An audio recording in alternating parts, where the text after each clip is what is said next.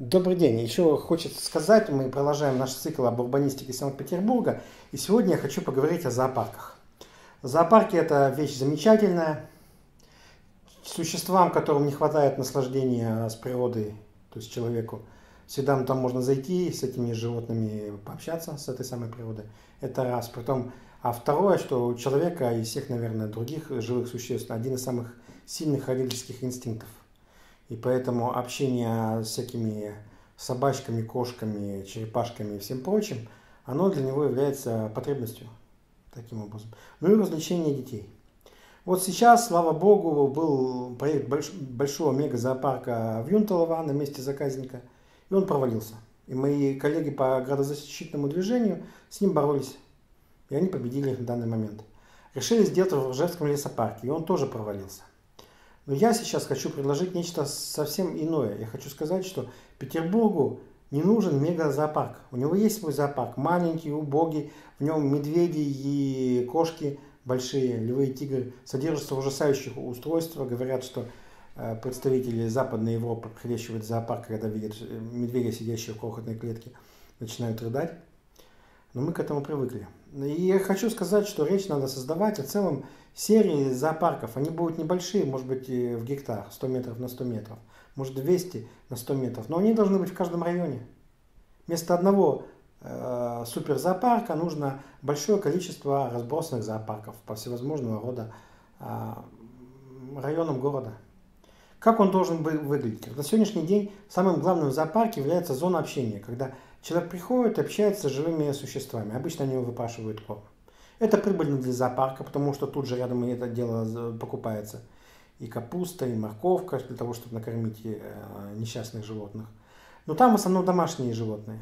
Гуси, утки, э, козы, овцы, поросята и так далее, и так далее. Вот мы их и кормим. И такая зона должна быть, вот этот э, фермерский дворик или скотный двор – в каждом из этих э, многочисленных зоопарков. Там и вот будет вот такая зона, и это, она больше всего интересует детей, потому что это живое тактиль, тактильное удовольствие от общения с живыми существами. И еще что-нибудь. Например, э, вот такая зона и слоновник. Там будет э, несколько слонов обитать на достаточно большой территории, сотни-двести метров. И как бы почти и все. А в другой мы, мы придем, там у нас будет Австралия, там у нас будет скакать кенгуру, или еще кто-нибудь, кто-нибудь, кто-нибудь еще. И так далее. Но еще есть страусятник, безусловно, африканская зона, где будет несколько видов, видов птиц и опять фермерский зонтик. И мы, э, дворик, и таким образом мы распределим большое количество зоопарк, большое количество зоопарков по всевозможным районам э, города.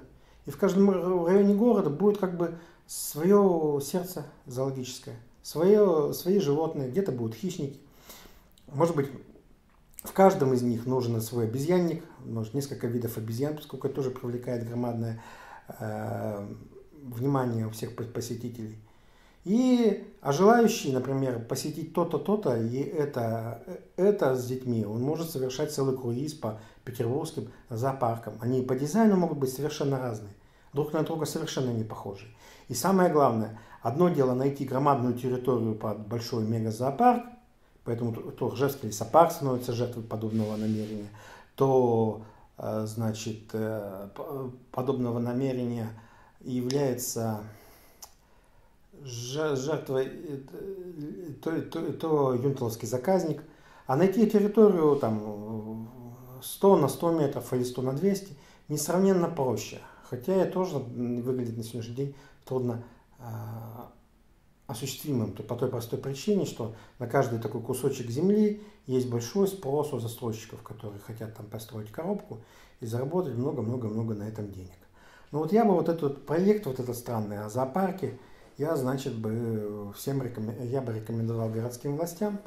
Надеюсь, из них кто-то слушает наш, наш видеоблог, смотрит его.